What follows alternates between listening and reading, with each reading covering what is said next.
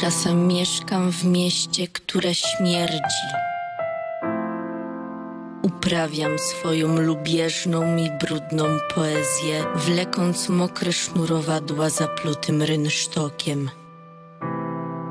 I co mi przyszło z tego, że przedreptuję w noc chodników po horyzont ostępy? Jak włóczęga.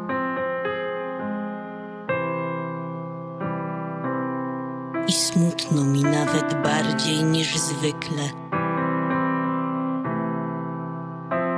Niedotleniony mózg pobudzam poranną kawą.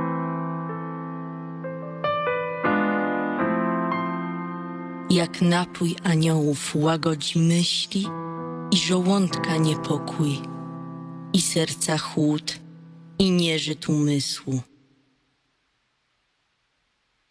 I zło nocne, co w kącikach ust pozasychało. Bardzo bałam się dziś wstać i pozbierać szklane żyrandole snów. Pokaleczyły mi powieki, a oczy zaszły krwią.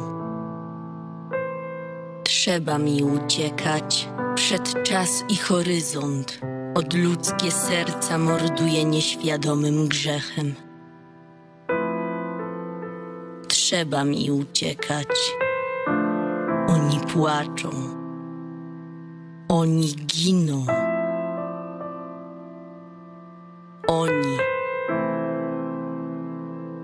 zakluczeni w umysły realne.